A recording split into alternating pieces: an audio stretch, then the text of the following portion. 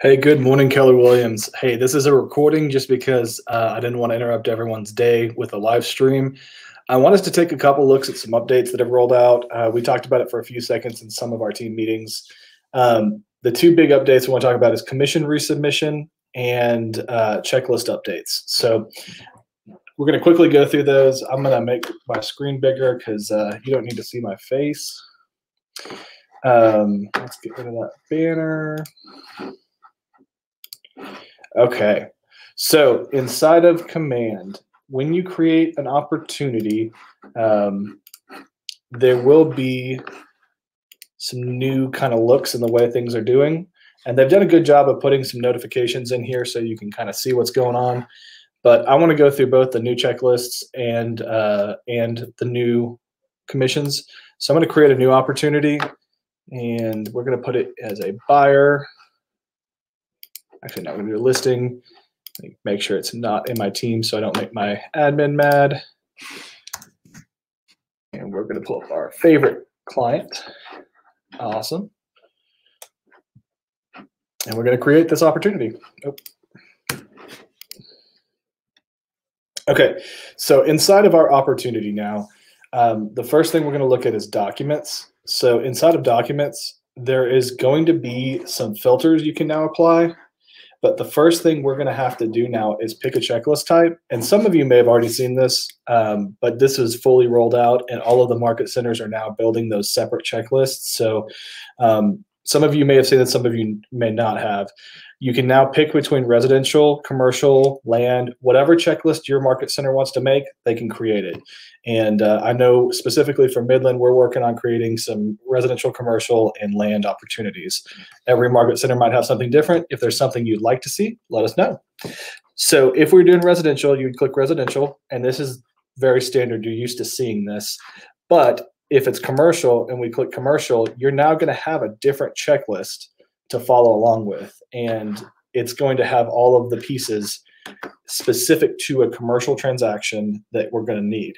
Now, uh, that'll change through under contract and close. Now, we're still building out our checklist here, but I wanted to just kind of talk through that's how it works.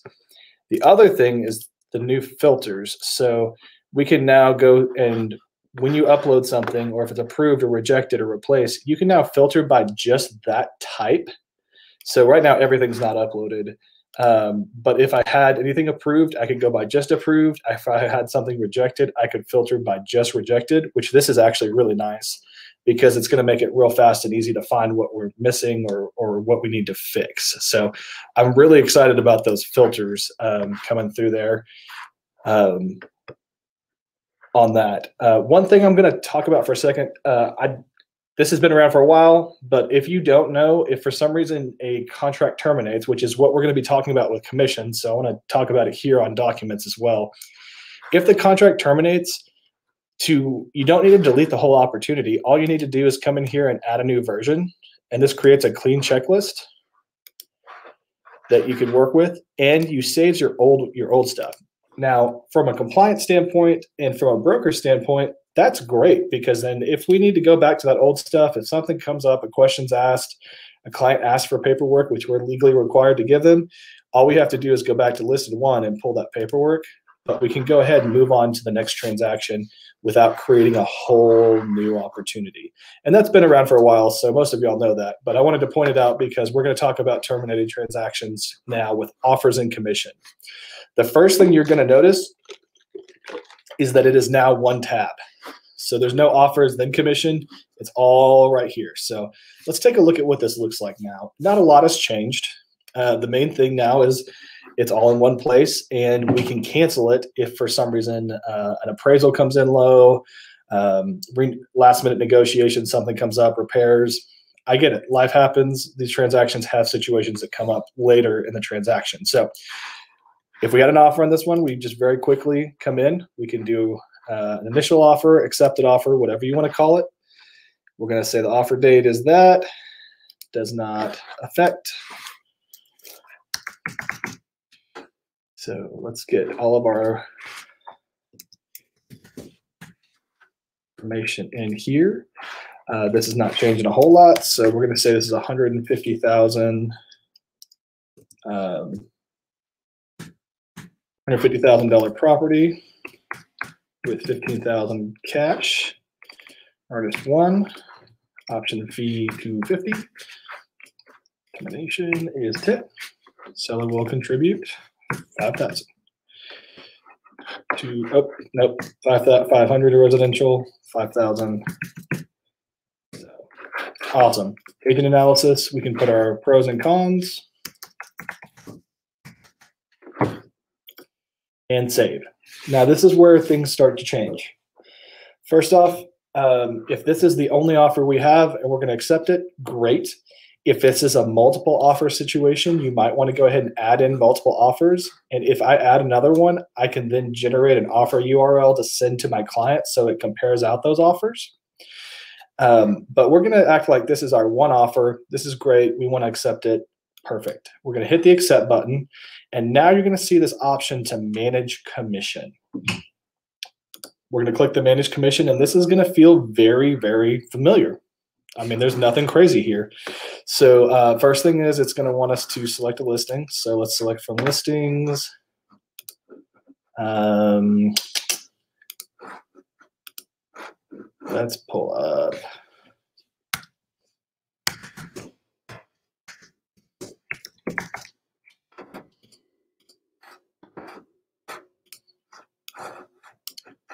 Uh, one of ours. Sorry, James.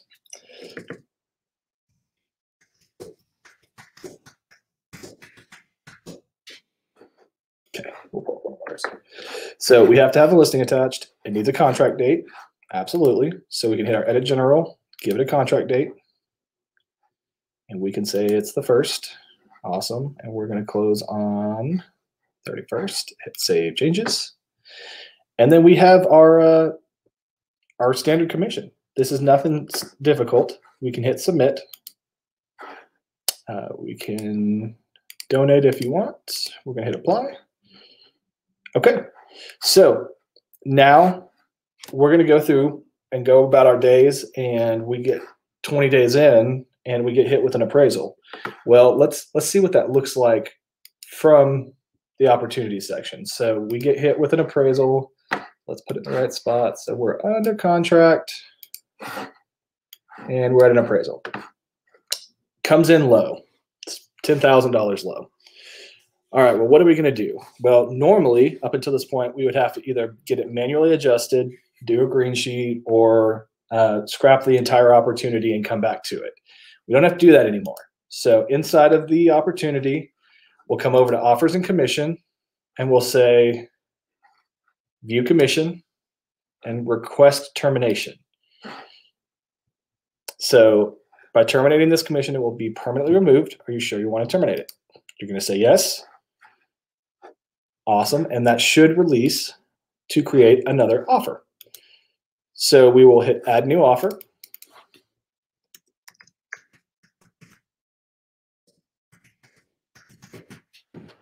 We'll create that offer. Very similar.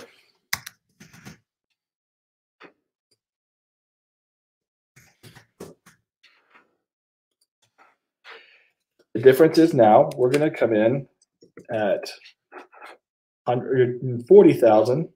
So they're going to put 14,000 down because they're putting 10%. And we're going to do 126. Just to adjust to that new appraisal price. Um, you can change your options and earnest and all that stuff. And you're going to hit agent analysis and save. Now, when you come in, we're going to accept this offer and then you'll hit manage commission. And we'll create a new commission. So we'll hit edit general information, give it a contract date, save changes, and we have a new commission. So we went from $150,000 offer down to 140,000 because of a bad appraisal. We'll hit submit. Awesome.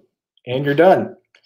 Now, you will get a notification when this is uh, when this is released and when this one is accepted. Uh, so as soon as James goes in and releases and accepts those, um, you'll be good to go.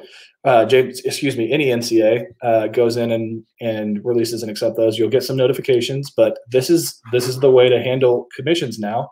And so the beautiful part about this is it actually will. Um, it's actually going to make it easier as an agent because I can go ahead and submit those commissions up front. Up until this point, I would tell most of our agents to hold off and not submit the commission until about a week beforehand uh, or after the appraisal so you didn't have to resubmit and go through all those headaches. Well, now I'm telling you, we fixed this issue. Submit the commission up front, have it done, so you're not waiting around. Hopefully, uh, after about a month of this, this will help our MCAs be um, be able to be uh, easier and smoother transactions. And so I'm excited about this. Uh, I'm also excited about the checklist because agents have been asking forever for us to not have everything locked into one checklist. So this should make things a little bit easier, especially for those new agents who just don't know which forms they need. So um, those are some small updates and some big updates. Uh, I'm excited about what all KWRI is working on. If you have any questions on this, uh, go ahead and put them in the comments below, or uh, you can shoot me an email, tim.lester at kw.com, and we can figure it out from there. But uh, I definitely want to help y'all out. But this is super simple. It works very well. I have seen no bugs, no issues. So I think uh, I think we're going to be happy with this. So any questions, put them below and y'all have a fantastic rest of the week.